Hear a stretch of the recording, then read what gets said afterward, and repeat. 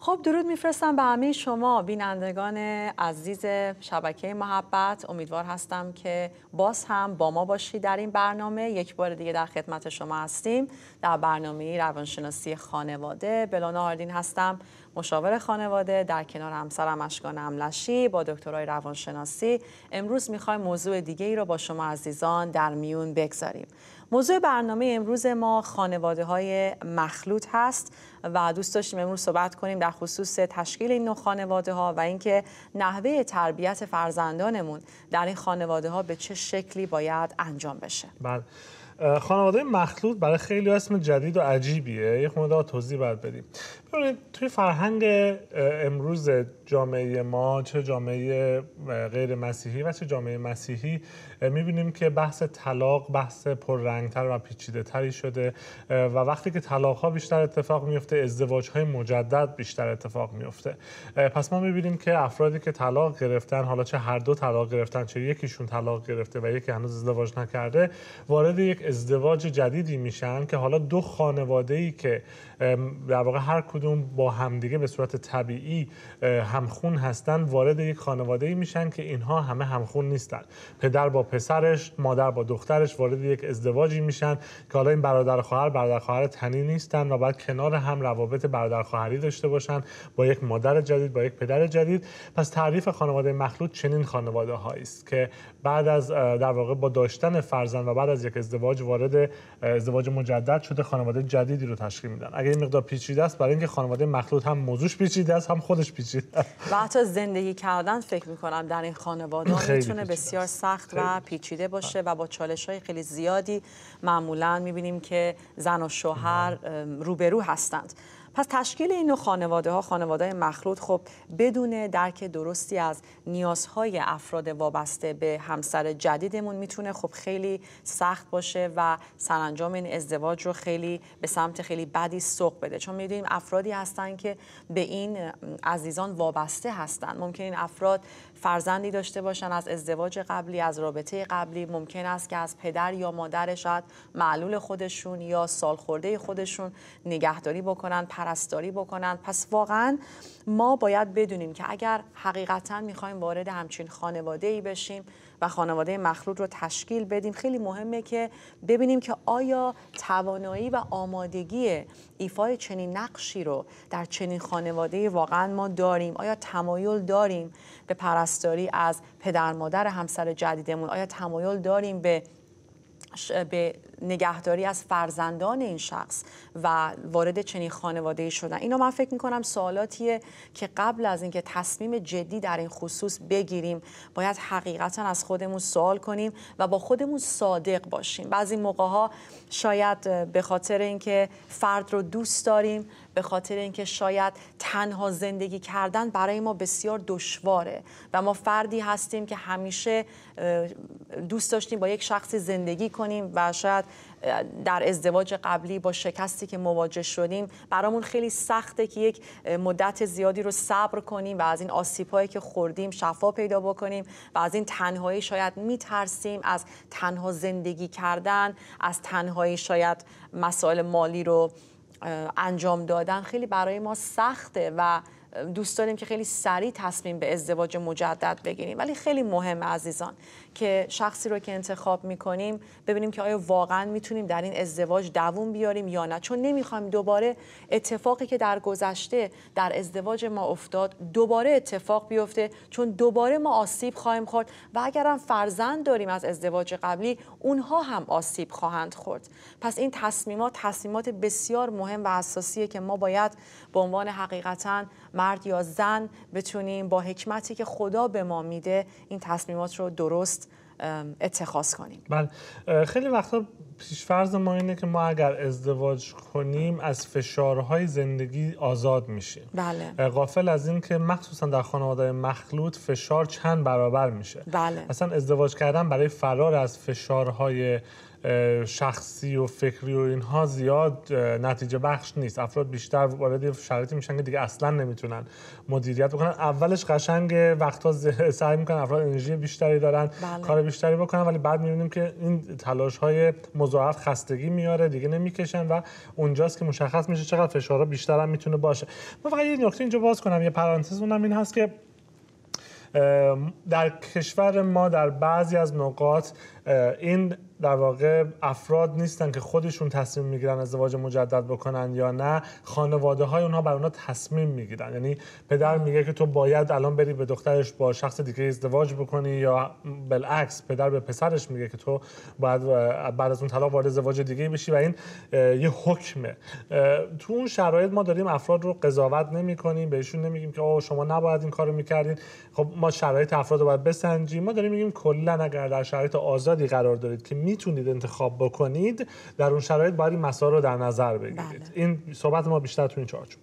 اما شما راجع به وابسته های همسر صحبت کردید. همسر ما می‌تونه وابسته های مختلفی داشته باشه از جمله فرزندان و پدر و مادر و دیگران. و یه مسئله رو باز کردید به عنوان که مسئولیت اونها رو قبول کنیم. من کنار مسئولیت می‌خوام بگم بحث احساسی ما چی؟ بله من ممکنه دوست داشته باشم راحت باشم با بزرگ کردن فرزند او ولی با این فرزند خاص با این رفتارهای خاص بله. نتونم ارتباط حسی برقرار کنم و نتونم اون رو محبت بکنم پس اینا خیلی مسائل مهمیه که ما قبل از ازدواج وقتی که داریم شرایط شخص رو در نظر می‌گیریم نگاه بکنیم ببینیم آیا من می‌تونم با فرض بکنید فرزند این شخص با پدر این شخص با افراد مختلف کنار بیام؟ یه مسئله دیگه که هست و من فکر می‌کنم خیلی مهمه اینه که من فرزندم اگر فرض بکنید پسر هست و ایشون یک دختری داره خب آیا من می‌خوام وارد خونه بشم که حالا این پسر من که نوجوان دختر اونم نوجوان با هم حالت خواهر برادری زندگی بکنن آیا این توان در اونها هست یا آیا این یه شرایط ایدئالی نیست؟ و واستیم این دوره ها بگذره اونها به یه بلوغ زندگی برسن بلوغ فکری برسن و بعد وارد ازدواج بشیم. چون برای بچه ها خیلی پیچیده است وارد شدن به یه رابطه ای که یک خواهر یا برادر ناخواسته ای وارد زندگیشون میشه. من با این چطور کنار بیام چطور باهاش مدارا بکنم اخلاقاش رو کاراش رو؟ هیچ وقت با یه برادر بزرگ نشدم هیچ وقت با یه خواهر بزرگ نشدم. چطوری می‌تونم اینها رو در واقع در نظر بگیرم؟ پس حس ما نسبت به در واقع افراد مختلفی که در خانواده شخص هست و چطور می‌خوایم باشون رفتار بکنیم. و بعد حس ما نسبت به همسرمون نه به عنوان همسر ممکن ما رو به عنوان همسر دوست داریم ولی به عنوان پدر یا مادر. من ممکنه از شخص خوشم بیاد به عنوان همسر ولی نگاه می‌کنم پدر خیلی بدیه یا مادر خیلی بدیه. و بعد اگه من قراره برم زیر یک سقف و مسائل تربیتی رو ما با هم انجام بدیم خب این چالش خیلی بزرگی خواهد بله بنابراین احساس من راجع به مسائل روش های تربیتی همسری که می‌خوام باش وارد ازدواج بشم هم خیلی مهمه. 100 درصد. و من فکر می‌کنم درک احساسات این افرادی که وابسته هستند به همسر جدید ما هم از فرزندانشون یا پدر مادرشون نسبت به ما اینکه بله. چه احساسی دارن می‌تونه ما رو کمک بکنه تا بدونیم چطور نقش و جایگاه شاید خودمون رو در این ازدواج شکل بدیم و پیدا کنیم و بدونیم چه بدونیم که چه رفتاری درسته و در چه به چه به چه شکلی رفتار خودمون رو نشون بدیم با برای مثال من یک مثالی بزنم که اگر مثلا پسر همسر جدید ما. از حضور ما خیلی ناراحت شاید عصبانیه ما بعد در ابتدا در جهت جلب اعتماد اون صد درصد بکوشیم تا بتونیم تا اینکه خودمون رو بخوایم در تعلیم و تربیت اون در واقع دخالت بدیم. بیشتر کار کنیم برای بهتر کردن ارتباطمون با اونها. و خیلی مهم همطور که گفتیم از اونجایی که ما از یک رابطه خب شکست خورده بیرون اومدیم و آسیب های خیلی زیادی رو شاید از رابطه قبلیمون خوردیم باید در من فکر می کنم بعد در جلسات مشاوره مسی شاید حتی با شبان خودمون شاید حتی با یک مشاور به درک بهتری از این چالش ها برسیم. نقاط قوت حساسیت هایی رو که داریم شاید آمادگی خودمون رو و فرد مقابل رو در نظر بگیریم. اینا نکات مهمیه که اگر می‌خوایم خانواده مخلوط تشکیل بدیم به اونها حتما باید دقت بله. بکنیم و توجه داشته باشیم. بحث مهم دیگه بحث بچه دار شدن مجدده. آیا بله. همسر شما می‌خواد بچه دار بشه دوباره؟ آیا شما می‌خواید بچه دار بشید؟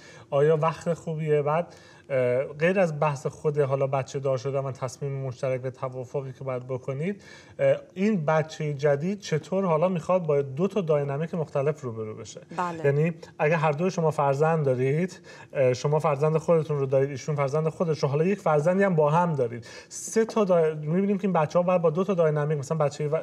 که تازه داره به دنیا میاد باید با یک خواهر تنی از طرف مادری یه برادر تنی از طرف پدری رابطه داشته باشه و یه احساس خواهر برادری خانواده داشته باشه. ببینیم چقدر پیچیده میشه بحث روابط خانواده ها بله. و واقعا ما من زمانی که برای روانشناسی خانواده میخوندم برای دکترا و در واقع موکلین رو می‌دیدم خیلی خیالم راحت بود مراجعینم رو. خیلی خیالم راحت بود. می‌گفتم خب از هر کسی میپرسیدم پدرت کیه مادرت کیه برادرت کیه؟ و شروع می‌کردیم به آنالیز رفتاری اونا.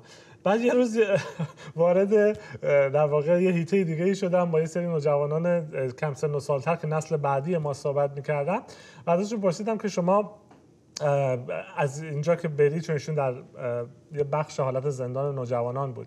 گفتم از اینجا که بری کجا خواهی رفت؟ وقتی آزاد بشی. گفت فکر می‌کنم پیش ناپا... ناپدری نامادریم.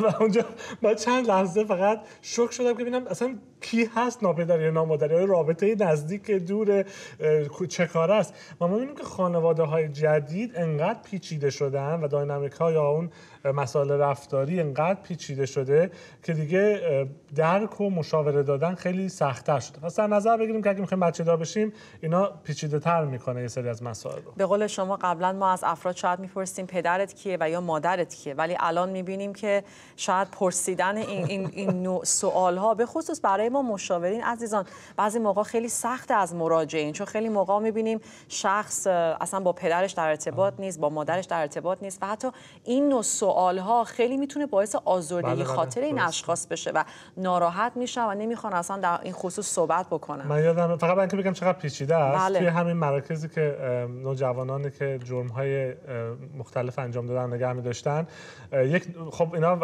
وقت قرار ملاقات دارن. روزهای یک شنبه مثلا برای یک ساعت فکر می‌کنم می‌تونستن ملاقات بکنن. و خب دوستان خانواده‌شون رو ببینن. بعد این نوجوان 14 ساله فکر می‌کنم یا 15 ساله که شوکه شده بودم به مشکل برخورده بود. و این جا تا حالا تا حالا همچین شرایطی رو ندیده بود که این نوجوان از سه تا دختر از هر کدوم نزدیک دو تا بچه داشت. و نمی‌دونست چطوری تو اون یک ساعت ملاقات تمام این فرزندانش رو و کسانی رو که باشون در ارتباط بوده ملاقات بکنه. ما می‌بینیم چقدر روابط پیچیده است چقدر وقتی بحث ازدواج از هم میپاشه بحث روابط جنسی و بچه ها چقدر پیچیده می‌کنه داستان رو. پس حواسمون باشه که داریم راجع به مفهوم پیچیده ای صحبت می‌کنیم و وارد بحث های خیلی مشکلی شدیم. بسیار عالی.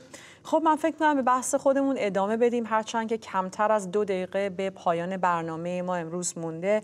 ولی فکر می‌کنم می‌تونیم وارد بحث مدیریت مشکلات در خانواده مخلوط بشیم. اگر نتونستیم ادامه بدیم در برنامه دیگه به ادامه این موضوع خواهیم پرداخت حتما عزیزان. خب در آیه یک آیه زیبایی در کلام خدا هست. اول تیموتائوس باب پنج آیه هشت که خیلی زیبا میگه میگه ولی اگر کسی برای خیشان و علل خصوص برای اهل خانه خود تدبیر نکند منکر ایمان است. می‌بینیم که کلام خدا حتی ایزان ما رو تشویق می‌کنه که ما باید مسئولیت مدیریت خانه خودمون رو به عهده بگیریم. آیا توانایی انجام این مدیریت رو داریم؟ من حتی فکر می‌کنم نه تنها در خصوص خانواده های مخلوط ما حتی به عنوان کسانی که تازه می‌خوایم خانواده تشکیل بدیم. من خیلی مهمه که این سوال رو من فکر می‌کنم از خودمون بله، بله، بپرسیم که آیا ما توانایی و آمادگی مدیریت یک خانواده رو داریم؟ امیدوار بودم به این بحث بیشتر بپردازیم. حتی خارج از خانواده مخلوط ولی فعلا وقت آنچنانی نیست. بله فقط این رو بگیم که انقدر شاید کافی باشه که بگیم ما فقط وارد یک ازدواج نمیشیم. ما بله. وارد مدیریت یک خانه و خانواده میشیم. و مسئولیتمون رو باید از قبل بدونیم بشناسیم. من نمیگم پدر مادرای عالی باشیم وارد این رابطه شدیم دیگه اشتباهی نکنیم. این ازدواج موفق این ازدواج رو زمین بشه. ولی باید بدونیم که آیا حتی توان فکر کردن توان مالی فکری روحی روانی این رو داریم. بعد از یک ازدواجی که شاید با شکست رو برو بوده وارد خانواده مخلوط بشیم. پس این رو می‌خوایم با هم دیگه بیشتر تو برنامه بعد صحبت کنیم. با ما باشید. تا برنامه آینده همه شما عزیزان رو به خدای بزرگ میسپاریم. خدایا رو نگهدار شما باشید.